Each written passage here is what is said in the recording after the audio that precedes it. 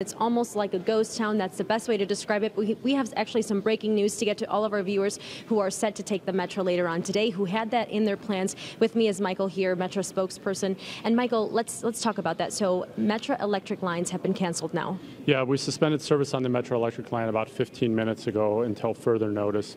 We tried running trains this morning, but the first few trains encountered multiple problems with the overhead wires that power that line. Um, we just decided we can't afford it. We can't operate trains, so we've suspended service. And previously, we had seen reports that you had crews out there working on the tracks, right? So, kind of what, is, what does that look like if you have crews out there? Well, we have crews out there for all our lines, uh, track inspectors, uh, signal maintainers, switch maintainers, and then on the Metra Electric line, maintainers for that overhead system. Um, they're working 12-hour shifts, 24/7 coverage to try and resolve problems as quickly as they can. Problem with the Metra Electric is there were just so many problems, and we the, the trains were threatening to damage the cables even more, so we suspended service. So, when we're talking about the Metra electric line, how many trains are we talking about? How many, maybe people, if you can say that, have been affected or will be affected? Uh, yeah, it's hard to say how much what, what ridership was going to be today. Uh, I think typically that line handles about 10,000 passenger trips a day. Um, there would have been fewer than that today, and we were offering a slightly reduced schedule, or we were trying to offer a slightly reduced schedule. It runs between Mil- Millennium Station downtown and University Park. Okay.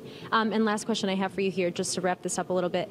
We have cancellations for today, for tomorrow as well, or we don't know that yet? Yes, for tomorrow we also are op- operating the same reduced schedule for all our lines. Um, it's a schedule we adopted to minimize the number of times we have to use switches. They're very vulnerable in this extreme cold, and if we can avoid using them, then we can be a little more reliable.